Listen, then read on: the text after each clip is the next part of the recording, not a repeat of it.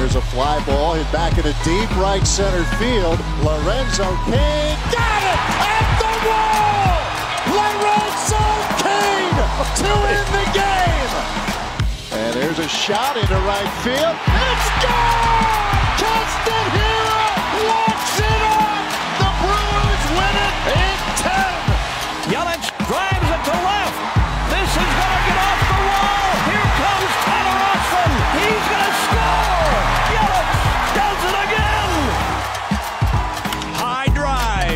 Center field. A grand slam. The Brewers have taken the lead in the ninth on a Ryan Braun slam. And a bouncing ball. And there it is.